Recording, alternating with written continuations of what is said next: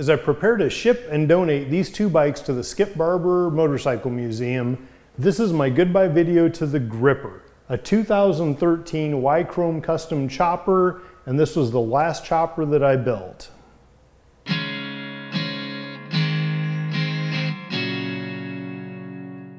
I've been on American V-twins for almost three decades now.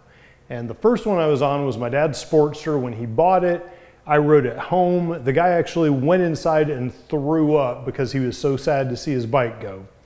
And riding it home, feeling those two cylinders with that common crank, thundering and resonating with the heartbeat, it all suddenly made sense why people love their Harleys and their choppers so much. Soon after it clicked with that first Sportster ride, I bought my own Harley. It was a basket case. Dad and I rebuilt it, and I had that for almost a decade of adventures. After rebuilding the engine yet again at about 10 years on that old shovel head, I built my first ground up chopper. And I started my own chopper shop building custom motorcycles like this. And over those years, I always had a shop bike that I could ride around. There was one brief period for a few months where I didn't have a shop bike to drive around. And I noticed that when I had a bad day, not having something to get on and ride just drove me insane. So not wanting that to happen again, I bought a little Sportster. It was an 883 Hugger. It was converted to a 1200. I did a whole bunch of work, but I had a lot of fun on that bike. It was such a blast. Eventually, I got the itch to build a one more chopper, so I dusted off the parts in the corner and started to prepare for my last V-twin creation.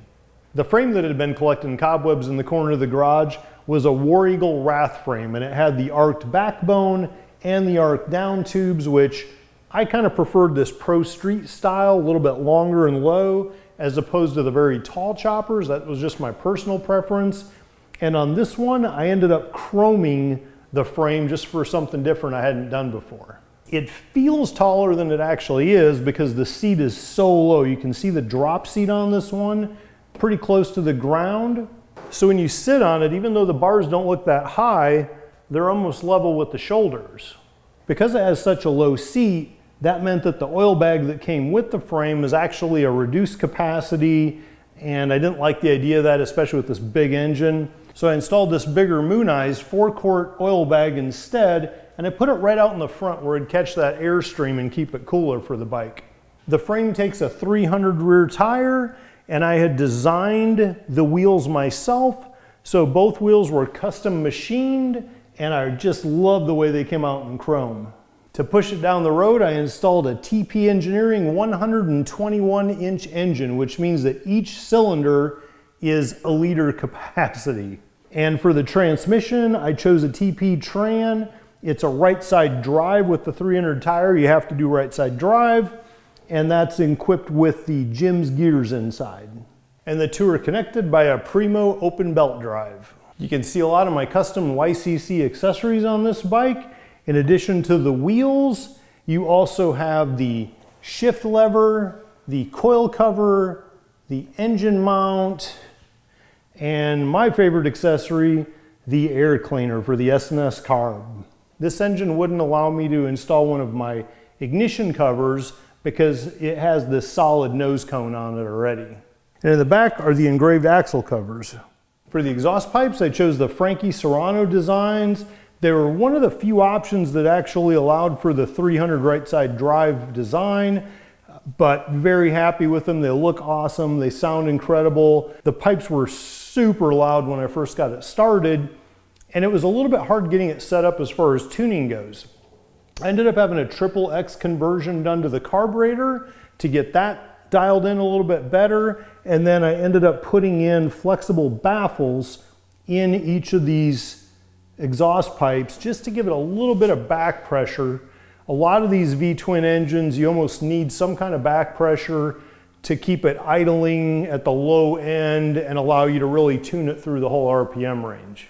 Once I got it dialed in though, this thing went like a raped ape. I was super happy with how much power, how much kick it had. The downside is it's a thirsty beast. In fact, when Pick and I drove to Daytona, he had his night train. I think about the time I was running out of gas, he was not even halfway through his tank.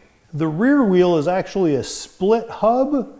You have to do that for this because the chain is on the right side, being the big fat tire. And when the chain's back here, that's usually where your brakes are set up.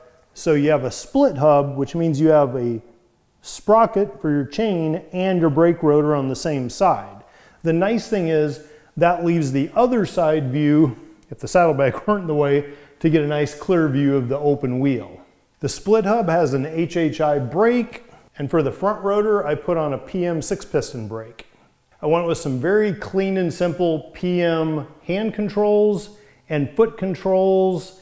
No garbage like blinkers or speedometer. The horn doesn't have one, but I have to put one on once a year just to pass state inspection. I made the seat pan by basically rolling some metal and welding some mounts to it. And then Inner Concepts in Jacksonville made the seat complete with a cool little suede axe insert on it. The tank came from Fat Cats and both fenders were from War Eagle. So what I did is the metal work to make them match.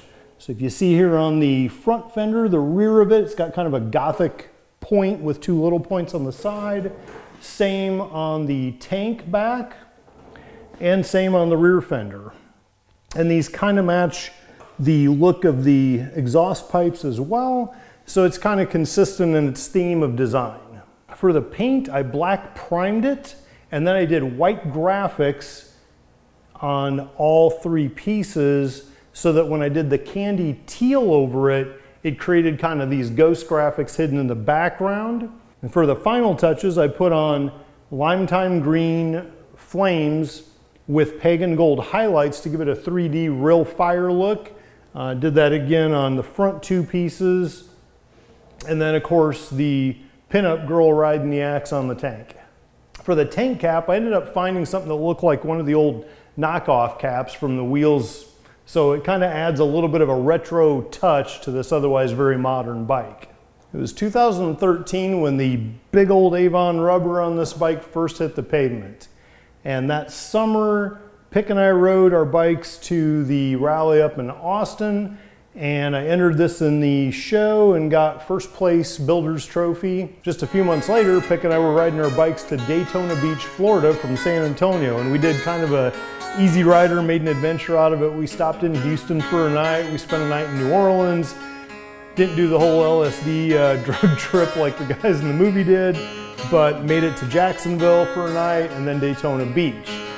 And I did enter it in the Rat's Hole show in Daytona Beach. I got fourth place, which isn't the greatest. It was a 1000cc radical class, but I guarantee I rode this bike further than any of the other entries to get there in my class. The alternator actually gave up the Ghost in Jacksonville on the way back. So we did have to trailer them, but really for a custom one-off chopper to have made it from San Antonio to Jacksonville or Daytona Beach, it's pretty good. A lot of these bikes aren't much more than bar hoppers, but I was pretty happy to see it get that far. And an alternator, I mean, it's, a, it's an electrical component. They fail just like the regulators and other stuff. I even tried my hand at leatherworking and made my first set of saddlebags for it. They're nothing fancy, but they were functional. Had one side for some clothes, and then the other side has a tool pouch that unrolls just to bring some basic tools along for the trip. The one thing I learned is that when leather gets wet, it sags, so I ended up burning a hole through one of the sides. It must be on the other side. Now in my youth, it wouldn't have bothered me at all to be riding this between the cornfields like my old shovel head, but unfortunately now it's become an issue. On that trip to Florida, it looked great, it sounded great, it rode great. One thing it was not great at was comfort. the problem with the low seat and the way you have to sit on it is that there's really only one way to sit, and it's like this. And it puts all the weight on your tailbone. And you can't even bring your feet back because the exhaust is right there.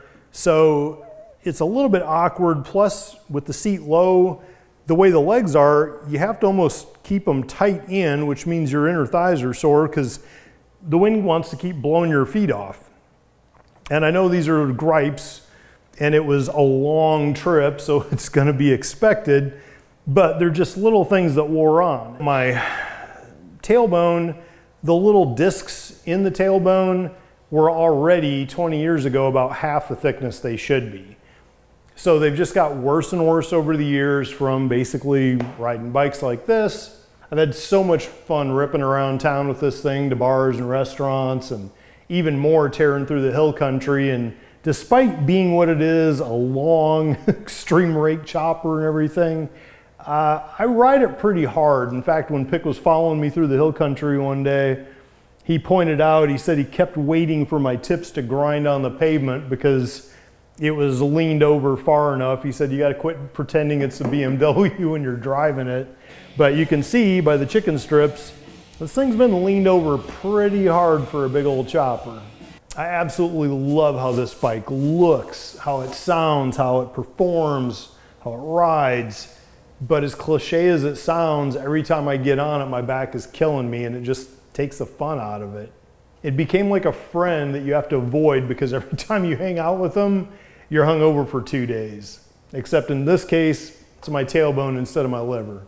The bike is also in the No Limits, No Regrets movie that I know the focus of that movie is more about the BMW doing its cross country run, but this is definitely part of the whole story as well. With the heart failing now and having the chance to donate this bike along with the BMW to the Skip Barber Museum, it just seemed like it's the right approach. I had to admit that I'm just not going to be able to ride this. It's not like my back is miraculously going to heal tomorrow. So it's time to send them both to a better place. And it makes sense to be in a museum, right? This is more, to me, rolling art than transportation. For me, this is so much more than just something to get from A to B or even more than my masterpiece. It becomes like a friend, right? And you spend time with it and you have highs and lows and you create adventures and memories together. And we've had 10 great years together. I just can't enjoy it like I used to, so it's time to move on to the museum where people can enjoy it long after I'm gone. If you haven't done so, please click the link below to subscribe, click the bell for notifications, and let's live for today.